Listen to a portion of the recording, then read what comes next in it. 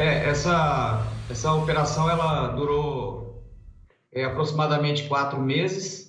Né? O, o intuito foi apurar os crimes de tráfico de drogas, associação para o tráfico, organização criminosa, homicídio, corrupção de menores e outros crimes, né? É, um, um, dos nossos alvos, ele, o nosso principal alvo, ele era um detento, né? Ele comandava o tráfico, bem como outros crimes de dentro da unidade prisional, é, onde nós também realizamos uma busca. É, ao total, foram cumpridos 25 mandados de prisão temporária, 19 mandados de busca e apreensão, é, foram efetuadas cinco prisões em flagrantes, é, também foram sequestrados bens móveis e imóveis desenvolvidos. O doutor, sempre uma operação acaba aí, né, passando para a continuação de uma nova operação. Haverá desdobramentos desse caso? Porque é muita gente envolvida, muita história ainda a ser relatada. Com certeza, Silvia. É, as investigações ainda continuam né, no âmbito do, da, dessa operação que foi deflagrada hoje e ainda temos é, muitas outras ações para serem realizadas. Quando o senhor fala em bloqueios de bens, a gente teria uma estimativa para passar para o telespectador?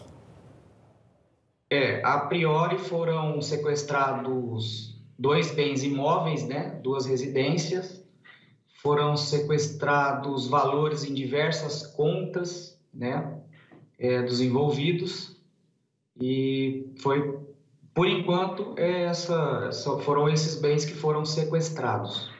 Além dos, do, dos bens que foram apreendidos, né, como drogas, armas, munições, diversos aparelhos celulares é, que eram usados pelos, pelos criminosos. Você sabe que a parte que eu mais gostei da operação claro, com toda a eficiência, né? E parabéns realmente para todos os policiais envolvidos, para o senhor também, para todo mundo, foi do sequestro de bens. Porque isso, é, se a justiça tiver todas provas contundentes, tudo que seja ali, quando o inquérito é remetido ao judiciário, tem prova suficiente, geralmente, quando há condenação, a justiça entende que aquilo volta, né, até mesmo para a sociedade de uma forma geral. Porque mesmo que volte para a polícia, a sociedade será beneficiada ali de uma maneira, né, de uma terceira parte. É, eu acho que é a única coisa, porque infelizmente, ô, doutor, é um absurdo a gente ainda entender e, e ter que aceitar que crimes são cometidos de dentro do presídio. Olha, quantos milhões, né, até bilhões não são gastos em todo o Brasil todos os anos para poder combater crimes cometidos de dentro do presídio.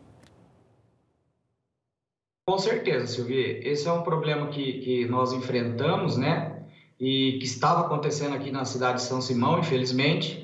Mas é, com a nossa investigação aí, nós conseguimos identificar os, os alvos, né? É, inclusive, alguns já foram transferidos. E para poder é, dar um basta aí nessa prática, que infelizmente acontece.